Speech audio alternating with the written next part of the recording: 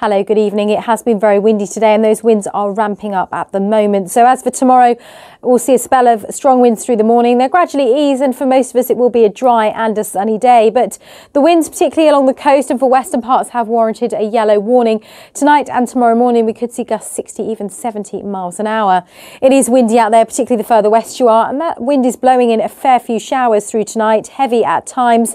Some breaks in the cloud, but with the strength of the winds and some more in the way of cloud, it is going to be frost free lows of 5 or 6 degrees. Tomorrow, a few showers first thing. The winds start to come down from the north, so it is going to feel quite chilly through the morning, but a lot of sunshine on offer. And through the afternoon, those winds will become significantly lighter, staying mild with highs of 11 degrees. Thereafter, another spell of wet and windy weather for Tuesday, but turning milder.